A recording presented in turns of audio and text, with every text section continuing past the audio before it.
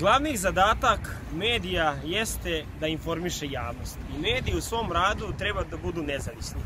I ovim vidom ja uopšte ne želim da utičem na njihovu uređivačku politiku, ali mislim da mi je dužnost da ovo predočim javnosti. 2019. godine opština Indija je medijima na konkursima dala oko 23 miliona dinara.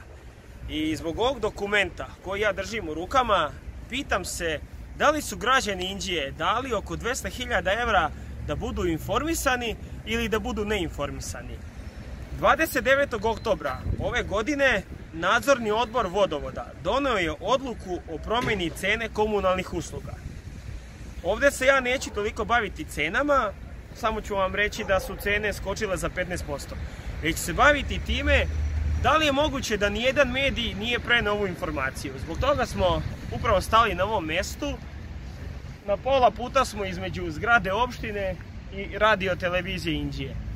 Novac građana ide iz ove zgrade u ovu zgradu da bi oni bili informisani. Lokalni mediji su prvi na terenu kada treba da se snimi otvaranje nove ulice, postavljanje vodovodne mreže, početak izgradnje vrtića, ali ih nema kada treba da se saopšti jedna ovakva odluka.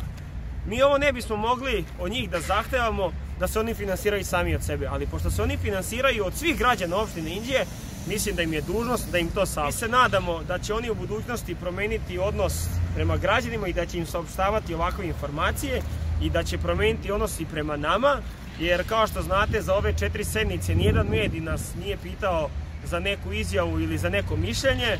Nama bi to bilo razumljivo da mi na sednicama funkcionišemo kao društvo ćutologa, ali pošto smo mi aktivni i postavljamo odbornička pitanja i javljamo se u raspravama i ponosimo zahteve za informacijama u značaja, nije nam jasno zašto nas ne pitaju i zato ću opet reći, nadam se da će se to u budućnosti promeniti, jer građani Indije zaslužuju da budu informisani o svemu.